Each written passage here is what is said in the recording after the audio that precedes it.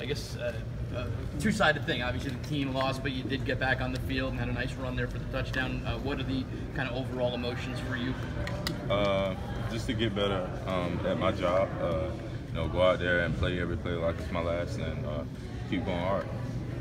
Tevin, you did, we're not used to losing a ton. How, what is uh, your role in this team here?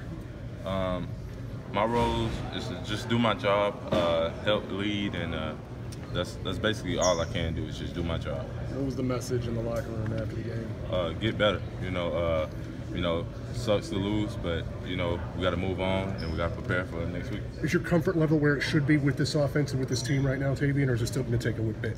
Um, I think I'm getting comfortable, you know, day by day, week by week, uh, and it's just, you know, it's just got to keep working, you know, keep um, keep um, working to be better with the team and with the guys. On the offensive side of the ball, how much more tough is this loss, knowing you had some chances at the end there but couldn't uh, uh, execute there? I mean, it's a tough loss, but you know, uh, we're gonna learn from it and we're gonna move on and we're gonna get better from it. Did you feel like you guys kind of had trouble staying on the field enough? Uh, no, sir. Um, I believe you know they made plays when plays needed to be made, and, and we did.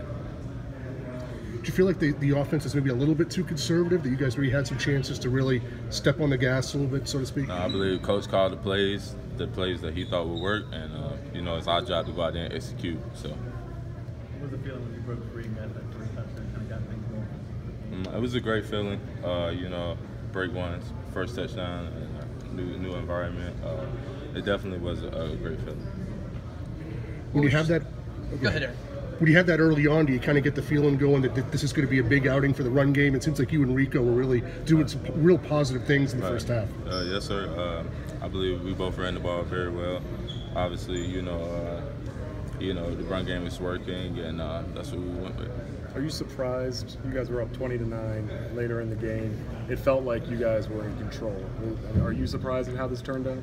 Uh, we just got to finish. We just got to be better, uh, work on us, and that's the only thing we can do is just you know get better from this loss. How do you get better from this loss? Uh, you know, take the coaching. Uh, you know, learn from your mistakes, and just go out there and uh, every day of practice and try to get better and, and compete with each other. Did you say anything to Jake or anything in particular to Jake as far as to maybe encouragement, things of that nature? Um, definitely encourage him to keep his head up, you know, but um, you know, it's the coach's job to say something to him. I'm not the coach. Uh, I'm just here to do my job.